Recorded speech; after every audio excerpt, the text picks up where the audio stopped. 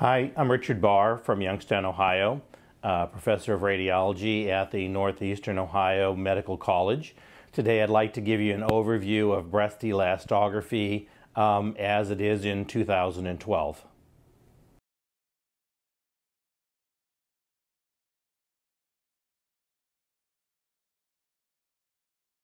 Elastography is a new technique in ultrasound which can provide information which was previously not available. Elasticity imaging is based on tissue stiffness or hardness rather than on anatomy. Elastography has the potential to quantify the stiffness of a lesion which was previously judged only subjectively by physical exam. So, breast elastography is really an imaging equivalent of a physical exam. There are two types of elastography presently available. These are strain or displacement or compression uh, elastography, which is based on tissue deformation from an external or patient source, and this is qualitative.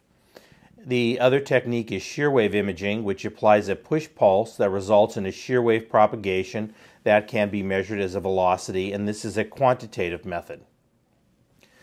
Uh, let me give you just a brief uh, physics of these two. Uh, very simple. Um, in strain elastography, if we have a uh, jello phantom that has an almond within it, and we use a spoon to push on that, you can see that the jello changes shape, and we know from that that it's soft. However, if you look at the almond, as we press with the spoon, it doesn't change shape, and therefore it's hard. So the uh, strain algorithm uh, actually looks at frame-to-frame changes in the software. Um, the algorithm actually varies by manufacturer, so you need to be aware of which system you're using because the amount of compression you need to do varies depending on uh, which manufacturer's equipment you have. Some require very minimal um, changes um, and actually, just the patient's breathing is, is the actual appropriate um, amount to get good images, where others require you to use your hand to cause some displacement to get uh, a reasonable amount of displacement for their images. And again, this is a, a qualitative and not a quantitative method. So we don't get an absolute value how stiff it is, but the images are uh, coded either in black and white or in color based on what is the hardest to the softest.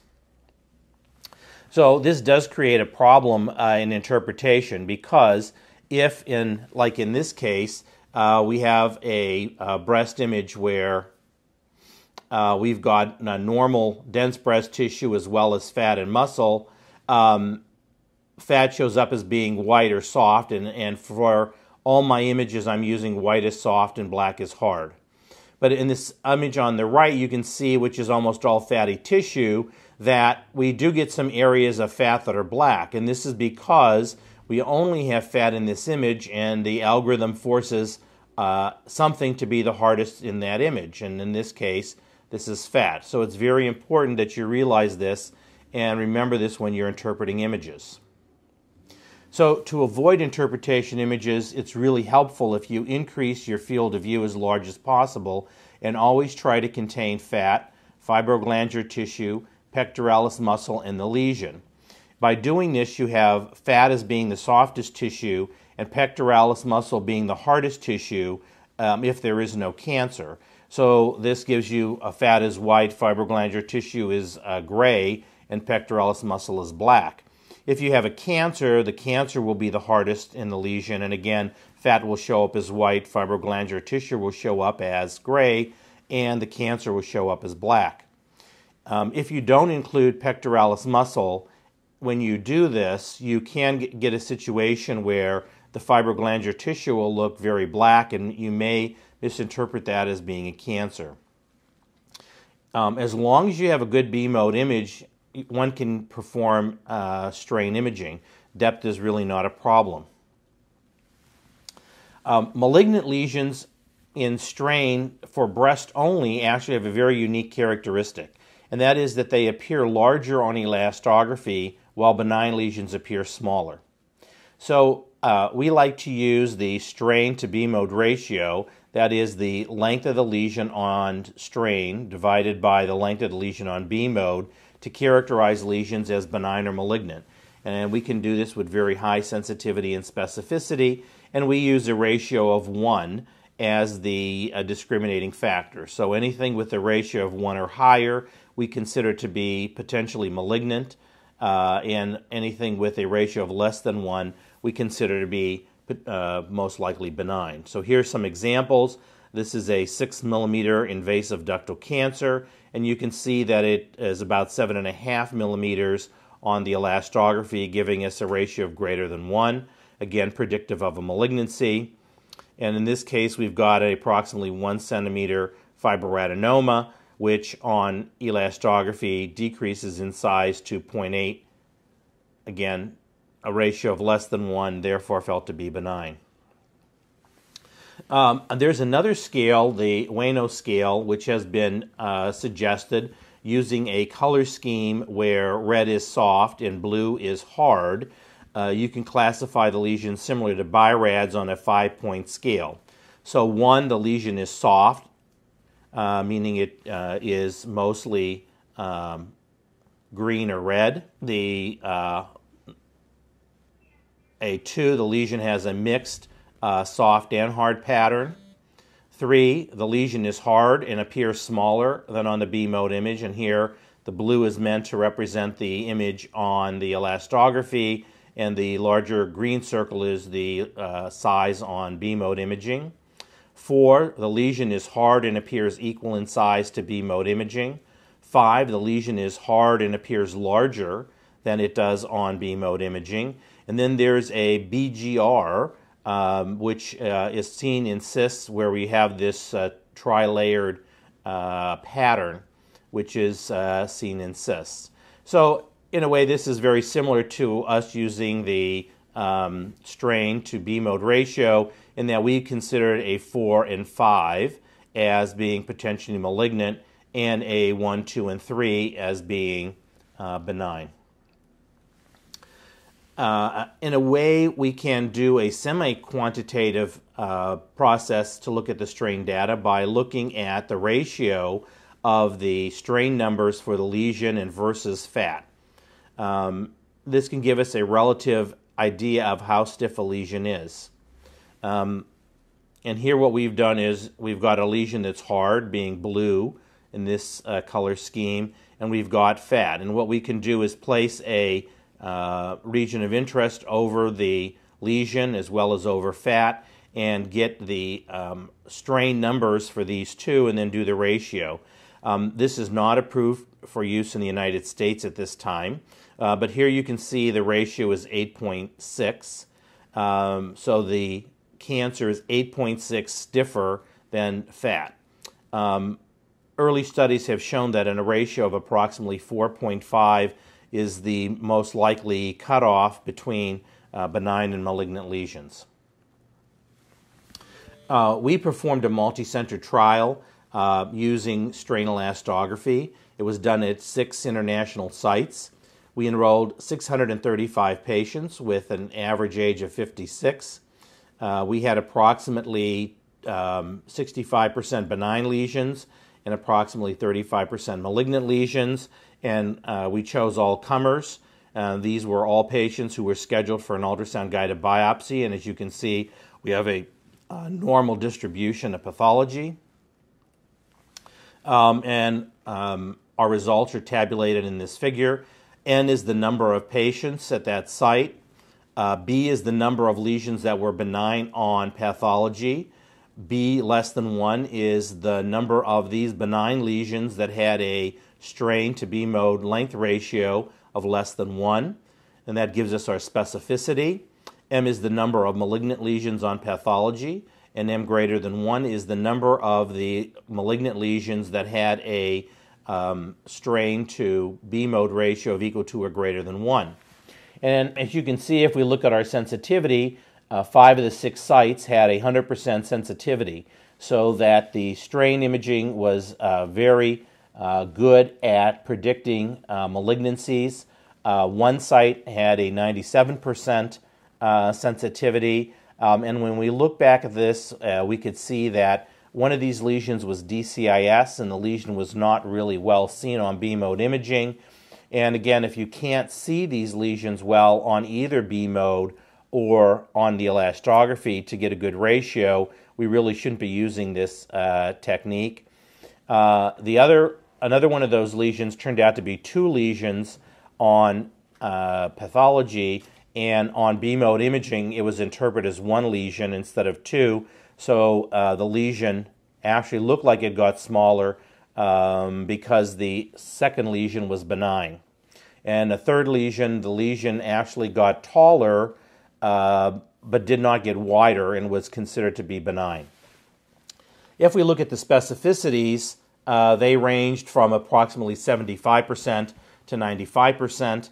Um, and I think we did this study actually several years ago, and we've learned uh, how to improve the technique. And I think that those centers that were getting lower specificities um, were using uh, a technique that could have been improved. And I think now that we think that the specificity uh, is more in the range of uh, 85 to 90 percent. If we look at the um, strain to B mode ratios in benign lesions, it ranged from 0.2 to 1.5 with an average of 0.76. The malignant lesions had a, a strain uh, ratio of uh, 0.9 to 3.1 with an average of 1.45. Um, and these levels uh, were uh, significantly different than each other uh, with a, a two-tailed p-test of less than 0.001. This is the gauge plot of our data, and you can see that um, all of the malignancies, uh, except for a few, had a ratio of greater than 1. And uh, there was a little bit overlap with benign lesions uh, overlapping on the malignant lesions, but overall there's a very good uh, separation of the distribution between benign and malignant. Another interesting thing that uh, we have reported is that uh, on some vendors' uh, strain system, there's a very unique artifact, which uh, we've named the bullseye artifact. Um, and this occurs in cystic lesions. And here you can see a simple cyst. And the bullseye artifact is composed of three um, components. One is a black ring with a white inner dot and then a distal white dot. And the combination of these three things is actually extremely um, significant in determining if something is a benign cyst. Um, we did a uh, study in evaluating this artifact, um, and the bullseye artifact had perfect sensitivity, specificity, and a positive predictive value in determining the pathology proven benign cystic lesions. This is seen in both simple as well as complicated benign cysts. Um, if the artifact in our series could have been used to exclude lesions from biopsy, our biopsy rate would have um, changed from um, 47.3 to 63.4%, uh, which is statistically significant. Our positive biopsy rate would have increased from 27% to 36%, and again, which was um, statistically significant.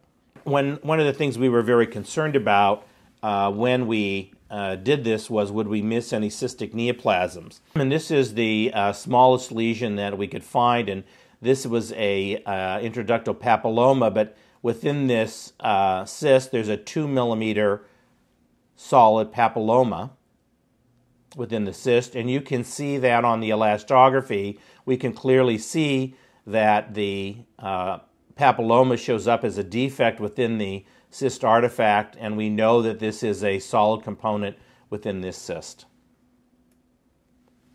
Uh, this is another interesting case that I think uh, describes uh, how to interpret these images and things to be aware of when you're interpreting images. Um, this was a patient that came in for a screening mammogram that had a suspicious lesion. Uh, on ultrasound, we can see this relatively isoechoic lesion that corresponded to the mammographic abnormality. And uh, what I've done on the B mode images, I kind of say that this patient had a head to her lesion, which I've circled in red, a body of the lesion, and then a small tail that I have in the green area here uh, on the lesion. When we look at the elastogram, the, the main body of the lesion was hard and it got larger, suspicious for a malignancy. The tail also is gotten larger, again suspicious for malignancy. However, the head of the lesion is now uh, actually extremely soft and we don't really see the lesion. Um, and on pathology, this body and tail turned out to be uh, an invasive ductal cancer, and what was the head uh, was actually a benign fibroadenoma. So here again, we, we have seen in many cases now what we thought was one lesion on B-mode imaging actually turns out to be two lesions. And you have to be aware that most pathologists will not tell you what additional benign lesions are present in the specimen uh, when they go to surgery. Um, so you often don't know unless you go down and actually have the pathologist relook uh, to see this. And again, this can be a compounding factor when you're interpreting lesions and looking at the length measurements because if the lesions are very similar in size and you do not identify that, you may get um, false uh, negative results.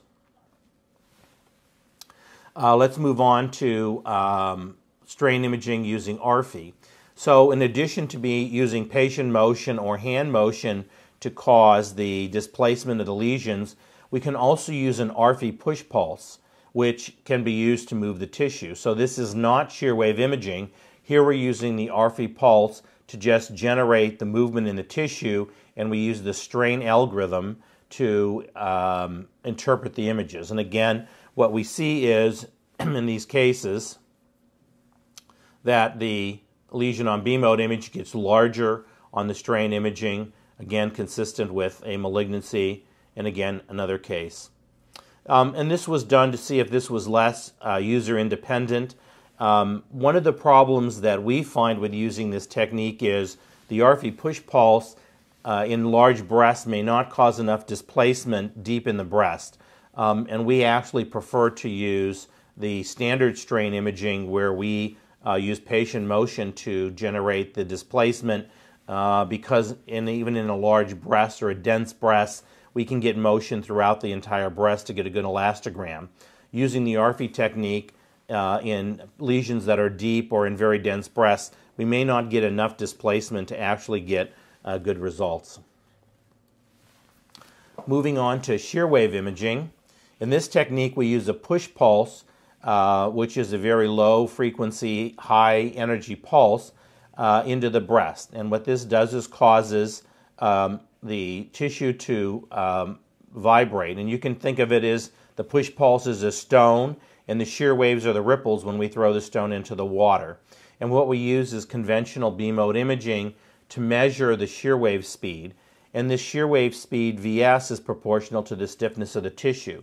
So the harder the tissue, the faster the shear wave travels through that uh, tissue.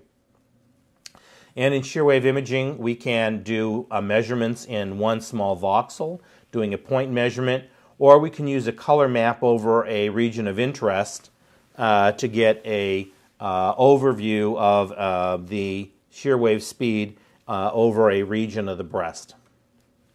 Again, we're going to use our Jello Phantom with the almond uh, to show you our physics.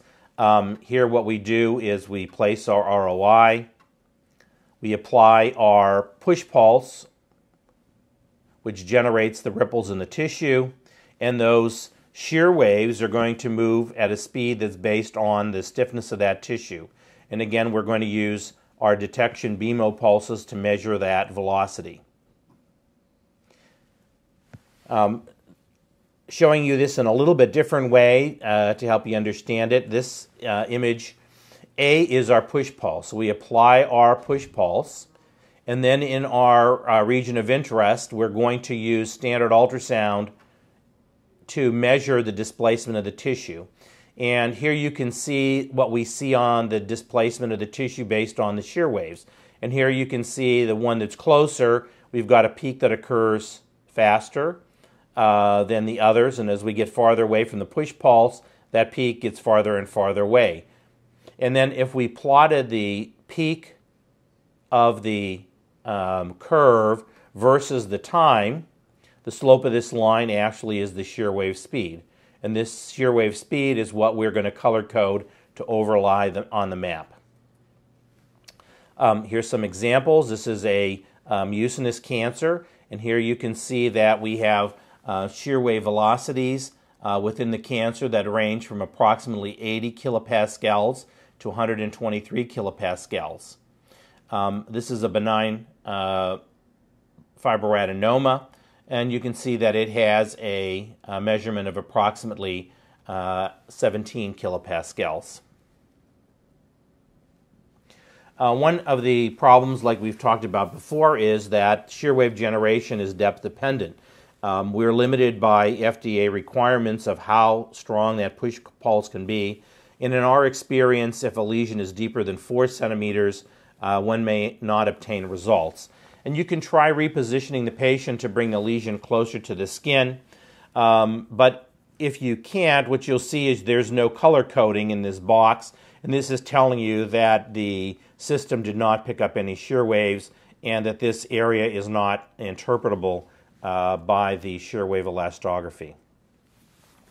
Um, there was a huge uh, trial uh, looking at shear wave elastography, the BE1 trial, um, and what they found was that if for B3 and B4A lesions, um, shear wave imaging uh, suggested that the lesions were benign, and they used a, a kilopascal number of approximately 80 uh, to uh, distinguish between benign and malignant.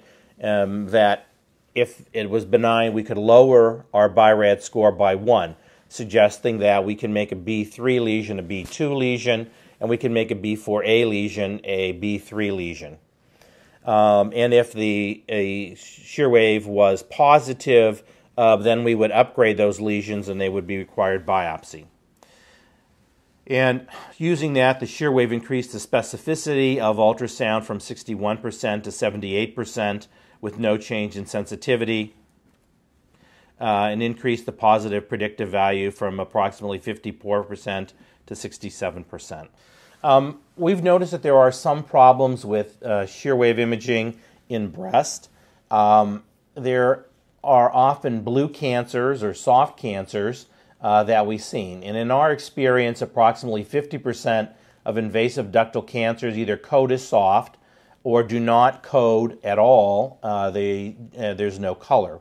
Um, they may have a ring of high velocity surrounding the tumor. And um, again, if the shear wave is not generated in that area, it's not color coded, signaling to you that you don't get any information uh, and you can't make any decision if the lesion is benign or malignant. But unfortunately, there are several cancers that show up as being blue. Uh, this is uh, one such example. Uh, again, this was a 6 millimeter invasive ductal cancer, and you can see that on shear wave elastography. The lesion shows up as uh, very soft. It has a slight uh, ring of increased velocity, um, however, it's still very low. And if we look at the strain image, you can see that the lesion increased from 6 millimeters to almost 8 millimeters, suggesting that this is a malignant lesion. And this is very concerning um, because what we really would like is on the shear wave imaging, if we get a very low number, to be really confident that the lesion is benign. Um, we've done some work in trying to decipher why this is happening. Um, and this is a case of an invasive ductal cancer, and this is one that has a, uh, a ring around it of high velocity. Um, and I'm showing you here the shear waves that are generated um, as we do this test. And you can see that if we look in the peritumoral area where we're getting these high signals, um, we have these waveforms that have a little bit of noise, but we can still identify the peaks reasonably well to get accurate measurements. However, if we look at what the shear waves look at within the tumor itself, we basically see there's a lot of displacement, but it's all noise. And the problem with us coding this as soft is that the algorithm is interpreting this noise as a um, slow shear wave speed.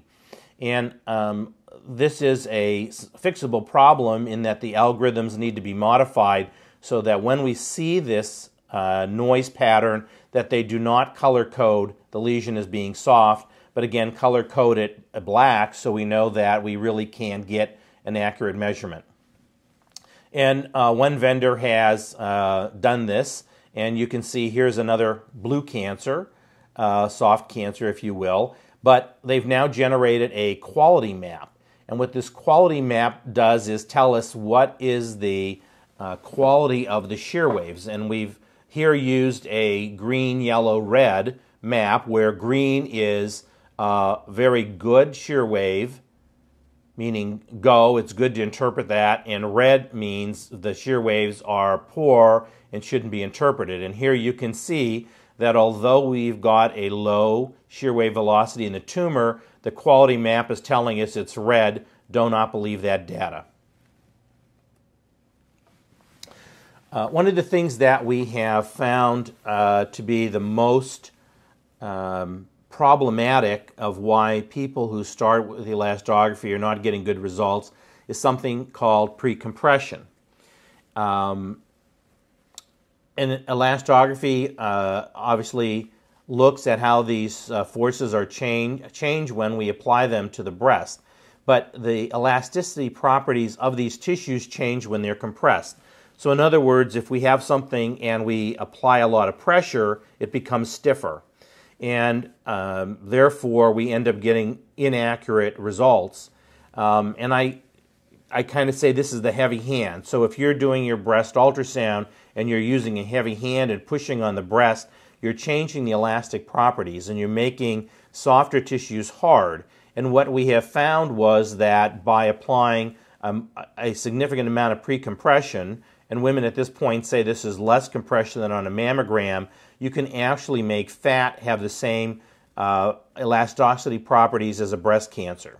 So you really need to be doing these exams with a minimal touch. Uh, here's an example of what happens.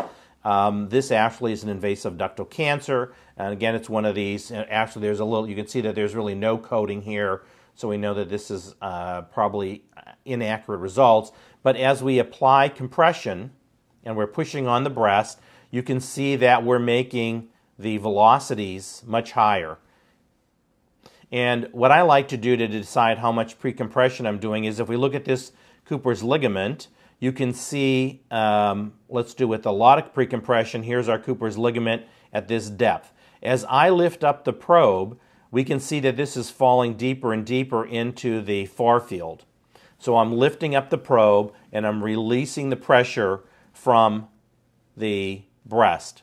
And I use this all the time when I'm doing elastography that I stop before I do my elastogram. I look at something, be it a rib in the far field or a Cooper's ligament, and I lift up the probe and I do this until I can get whatever I'm looking at to far fall as far in the far field as possible and still get a reasonable image. When you do this, your B mode image will quality will suffer, but again, you're doing this for your elastography. And to get good elastography results, oftentimes your B mode image is going to suffer. And you should be doing uh, your B mode image separately to get the high quality B mode image separately than uh, doing when you do the elastogram. Um, and just this is again just going over what I said. Pick an object in the far field, be it a rib, a Cooper's ligament, lift the probe up, and that object will start to fall in the far field. And you continue to do this uh, until you still have contact. And uh, I like to grade the amount of compression based on, as I drop this here, a rib, uh, without compression, it goes to 4 centimeters depth. If I apply some precompression, it goes to 3 centimeters. Then I like to say we've applied a 25% precompression. And again, we should be doing our elastography, either strain or shear wave, uh, with as close to zero uh, precompression as possible. Again, this is uh, the results of our study, and here you can see different tissues. And as we apply different amounts of precompression, everything begins to increase in velocities so that at an approximately 40% precompression, even fat has the same velocities as cancers.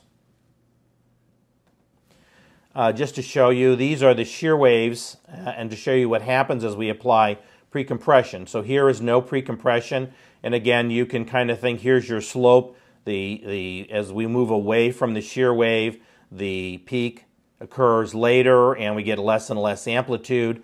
But as we apply precompression, you can see that we're moving all these peaks uh, closer and closer in time. So we're getting faster and faster shear wave velocities. This is to show you uh, what happens with um, strain imaging. Um, and what we have found if you apply minimal pre-compression, and here I'm using this rib here where we have at about two centimeters, we really get a very good elastography of this uh, epidermoid cyst. Um, here, if we're at about 1.7 um, centimeters in depth and we're applying mild pre-compression, we don't get as quite a good of elastogram, and what we notice is on the frame-to-frame differences, we get some lesions that are um, good images and then some that are bad. And if we apply significant pre-compression here, we're at about 1.3 centimeters in depth, that all we get is noise and we really cannot get a good elastogram. And again, the same thing happens with shear wave. Um, here we're looking at a simple cyst done correctly with very minimal pre-compression and as, as, we, as we add more and more compression, and again here you can see by this rib getting closer and closer, to the skin, we can see that we've made this cyst now look like it's a cancer. So again, you should be doing all your elastography with very little pre-compression.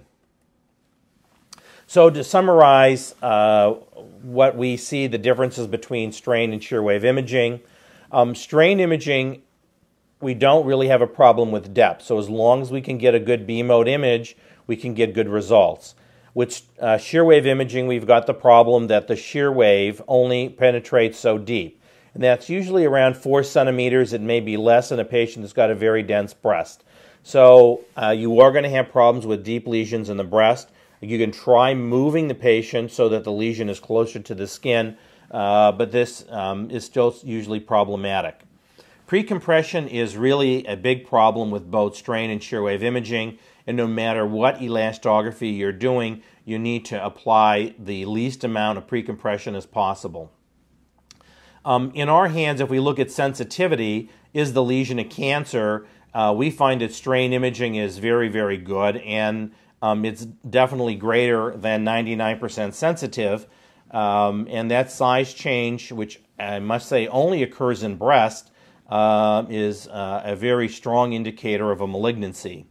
Um, because of presently with the algorithms that are used in shear wave imaging, we have this problem with the softer blue cancers that you need to be aware of.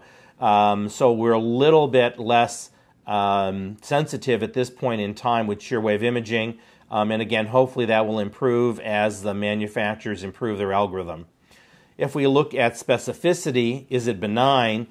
Um, we often have a problem in strain imaging because most benign lesions have very similar elastic properties to normal dense breast tissue. And oftentimes it's very difficult to get a good length measurement because the lesion actually blends in with the normal tissue. Um, where on shear wave imaging, um, this is kind of the best case that shear waves occur very easily in uh, the softer tissues and we get good measurements. So um, we think the specificity of shear wave imaging is better than that of strain. If you want a quantitative measurement, uh, we can do the semi-quantitative ratios uh, to get a relative ratio of a lesion to something else, such as fat in the image, but we really can't get a absolute measurement. Um, on shear wave imaging, we actually do get that absolute measurement. And um, we have found that Bullseye Artifact has been uh, a tremendous help for us in clinical practice because we have found many lesions, even those that we thought were solid, turned out to be benign, complicated cysts, and we find a large number of isodense, uh, complicated cysts uh, that are lesions that you may see on um, MR or maybe even palpable um, that you normally would not see on uh, B mode imaging. And again, we find that extremely useful. On shear wave imaging, um, in very simple cysts, shear waves do not propagate and you will not get color. But in most complicated cysts, there is shear wave propagation, and you will get a low reading, but you will not really be able to tell if it's a cyst or solid. So, to conclude, both strain and shear wave imaging provide additional information on breast lesion characterization. Uh, we believe that elastography should be part of the routine breast exam uh, uniformly. Uh, both techniques have advantages and disadvantages. Um, and the disadvantages of one technique are the advantages of others.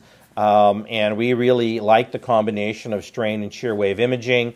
Um, and it's really satisfying to us clinically when we get the same results on strain and shear wave imaging uh, to really increase our confidence that we're getting accurate results.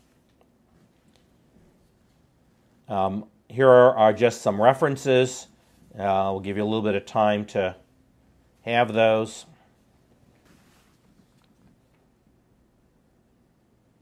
And I do just want to end by saying uh, at the time of this lecture, the FDA has not approved any quantification of elastography in the United States. And this includes the strain ratio, which we've talked about in the comparison of a lesion stiffness to background tissue of fat, uh, or to display the shear wave velocities uh, that I've used in this talk. Thank you.